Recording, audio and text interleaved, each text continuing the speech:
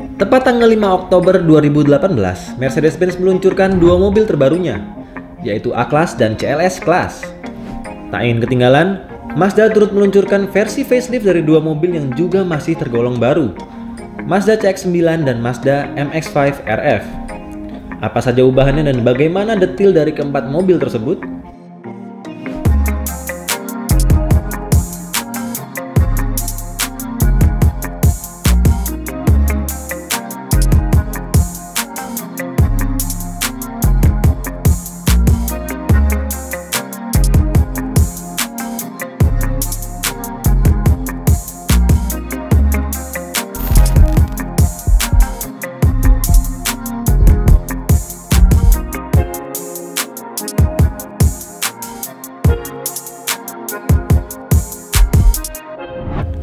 Mercedes-Benz A-Class terbaru benar-benar berubah total. Bisa dikatakan mobil ini menjadi lebih matang dari sebelumnya. Untuk bagian eksterior, secara keseluruhan ia bertambah besar dari generasi sebelumnya dan mendapat ruang yang lebih lega di bagian interior. Uniknya, walaupun dengan ukuran lebih besar, mobil ini justru lebih ringan hingga 20 kg. Teknologinya kini juga mendapat sejumlah tambahan. Salah satunya adalah parking assist yang sebelumnya dimulai dari S-Class.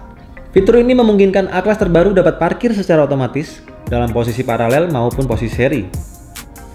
Ia juga dilengkapi dengan mesin baru berkapasitas 1332 cc dengan tenaga sebesar 163 daya kuda dan torsi 250 Nm. Mesin ini dikombinasikan dengan transmisi otomatis dual clutch 7 percepatan dan diharapkan dapat memberikan efisiensi bahan bakar yang lebih baik. Tak berbeda dengan CLS Class yang turut diluncurkan pada waktu yang sama, Mobil generasi ketiga ini tampil dengan desain baru yang menawan. Desain interior pun turut berubah. Tak lupa ia juga dilengkapi dengan dua layar besar berukuran 12,3 inci memanjang di kokpit pengemudi. Paling menarik adalah mesinnya yang kini disematkan teknologi EQ Boost. Mesin berkapasitas 1991 cc diklaim lebih efisien dan bertenaga berkat bantuan dorongan dari motor listrik.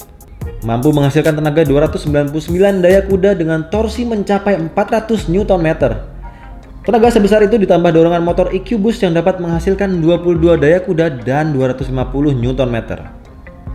Mercedes-Benz A200 terbaru resmi dijual di Indonesia dengan harga 649 juta rupiah off the road. Sedangkan CLS 350 dibanderol seharga 1,65 miliar rupiah off the road. Tepat tanggal 20 Oktober 2018, PT Eurocars Motor Indonesia selaku distributor resmi merek Mazda di Indonesia meluncurkan Mazda CX-9 dan MX-5 RF facelift.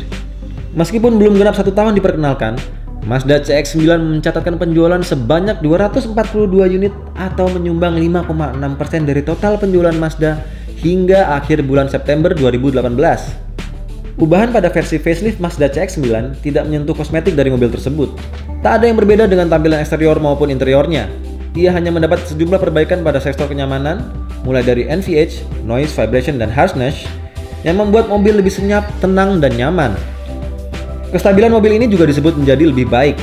Selain itu, kini ia dilengkapi fitur ventilasi pendingin udara pada jok bagian depan, head unit yang sudah mendukung pengoperasian Apple CarPlay dan Android Auto, serta kamera 360 atau disebut top view monitor oleh Mazda.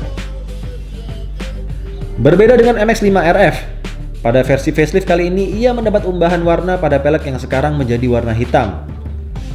Mesinnya pun mendapat tambahan tenaga sebanyak 12,8 daya kuda serta torsi 5 Nm. Dengan mesin yang sama, kini ia mampu menghasilkan 180 daya kuda dan 205 Nm. Tak hanya itu, untuk meningkatkan kesenangan berkendaranya, Mazda juga meracik suara yang lebih menggugah. Peningkatan lainnya seperti wind noise reduction, penyetelan lingkar kemudi teleskopik, penyetelan kursi untuk menggeser dan reclining, serta door opening steps baru berperan untuk memberikan kepraktisan yang lebih baik untuk mobil mungil ini. Mazda CX-9 terbaru kini dijual seharga 818 juta on the road dan MX-5 RF terbaru di Lego dengan harga 799,8 juta on the road. Tertarikkah Anda untuk memilikinya? Silahkan klik like jika Anda suka dengan informasi seperti ini dan sampaikan pendapat Anda tentang mobil-mobil tersebut di kolom komentar. Jangan lupa juga subscribe ke channel YouTube Cinta Mobil TV dan nyalakan notifikasi agar tidak ketinggalan video-video terbaru dari kami. Terima kasih sudah menonton, sampai jumpa di video berikutnya.